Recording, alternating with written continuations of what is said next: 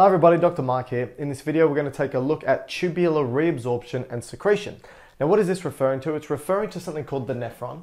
This is the filtration subunit within all of our kidneys. And remember, the blood's going to come in through something called the afferent arteriole, turn into what looks like a ball of yarn. It's a capillary bed called the glomerulus. And this is where we filter the blood into these tubes, which are called a nephron. Now, each kidney has a million nephrons, which means we have 2 million nephrons in total, and we only effectively need 1 million to do this process properly. Now, when the blood comes in and through, how much of the blood is filtered? Well, it's around about 120 milliliters per minute, which ends up being around about 180 liters per day. So 180 liters per day get filtered into this tube.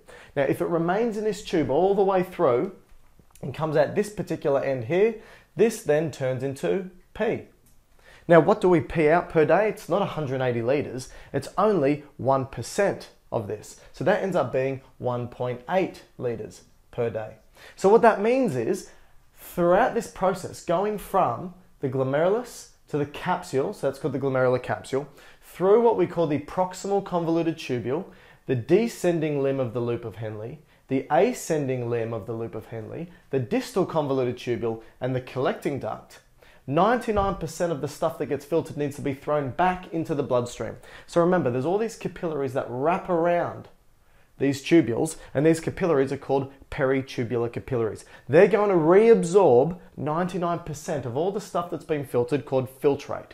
And we need this to happen so that we pee out around about 1.8 litres, and so that our body maintains the appropriate concentration of stuff ions, amino acids, glucose, urea, all those types of things. All right, so let's take a look at this process. First thing is, at this part here that we call the proximal convoluted tubule, what you're going to find is that around about 65% of everything gets reabsorbed here.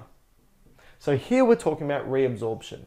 So when I use the term reabsorption, it's not absorption. Absorption happens in the gut where we absorb things into the body.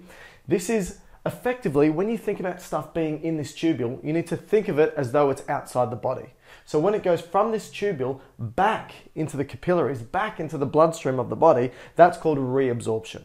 So 65% of all the stuff that gets filtered gets reabsorbed here at the proximal convoluted tubule. This loop of Henle right here what you'll find is around about 15% of everything gets reabsorbed. And like I said, this is called the loop of Henle. This is called the distal convoluted tubule. And another 15% of everything gets reabsorbed here. And then this is called the collecting duct. And around about 5% of everything gets reabsorbed at the collecting duct.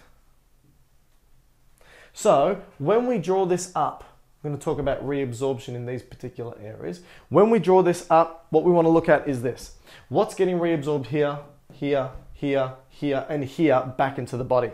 That's really important because if we were to alter this reabsorption by 10%, let's just say we didn't reabsorb everything we needed. So here, instead of reabsorbing 65%, we absorbed, let's just say 62%. And here we reabsorbed only 13%. And here we reabsorbed only 13%, and here we reabsorbed only 4%. If we did that, what you'd find is we wouldn't pee out 1.8 litres per day, we'd pee out 18 litres per day. And that's not possible. If we did that, we would die very quickly. All right. So, what's getting reabsorbed back into the body at the proximal convoluted tubule? All right. Sodium ions, potassium ions, chloride ions, calcium ions, magnesium ions. We are now going to just term these the ions. There's obviously more, but these are the ions I want you to remember. These ions are being reabsorbed at the proximal convoluted tubule. Now, as we move through, if I use the term ions again, these are the ones I'm talking about. Now, in addition to this, bicarbonate is being reabsorbed, and you're probably thinking, but that's an ion. True, but I'm not including it in this group for a particular reason. Bicarbonate, water, amino acids, urea, and glucose. These are the main things being reabsorbed back into the body. Now, an important point here is this.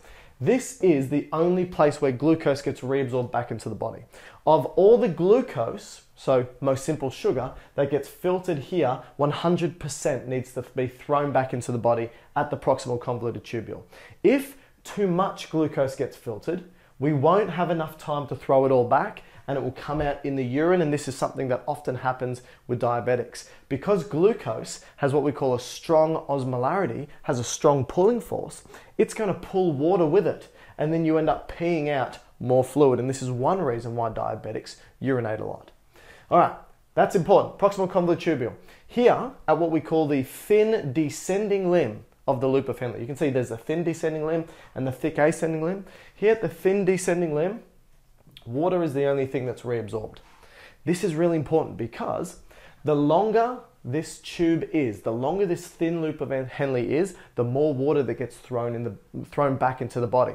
That's important in times of dehydration. It's important for animals, for example, that don't get enough water in. So if you find desert dwelling animals that don't ingest enough water, you'll find if you look in their kidneys that their loop of Henle is very long because it helps concentrate the urine. Think about it. Whatever stays in here becomes urine. If we throw more water out, this or the stuff in this tube becomes more concentrated. So the thin descending limb is important for concentrating urine. If we look at the thick ascending limb, what we're reabsorbing is ions. So that's these ones here, and bicarbonate. If we look at the distal convoluted tubule, what we're reabsorbing is ions bicarbonate, and water. And if we look at the collecting duct, we have sodium, chloride, bicarbonate, water, and urea. So these are the major ions, nutrients, and substances that are being reabsorbed back into the body in these particular areas. That's very important, and that's the process of reabsorption. Now, if we look at the process of secretion, this is where we take things that are in the blood and throw it back into these tubules. So let's have a look. Here at the proximal convoluted tubule, what we're throwing back is we're throwing back urea, we're throwing back uric acid, we're throwing back creatinine, We're throwing back hydrogen ions. We're throwing back drugs. We're throwing back ammonia. These are all the things that we want to pee out or secrete. So in the blue, we've got reabsorption. In the red, we've got secretion. Now, nothing is being secreted here. Nothing, actually, one thing is being secreted here, I should say, and that's urea. Urea is being secreted here. Nothing is being secreted here. Here and here, what we've got is hydrogen ions are the predominant thing being secreted here. But we've also got some drugs and we've also got ammonia. So if we have a look at this process, we filter most things into these tubules. We reabsorb nearly 100% of it back into the body, but we secrete very specific products back into the tubules so that overall we only pee out 1% of everything that we've filtered. And this is the process of reabsorption and secretion at the tubules.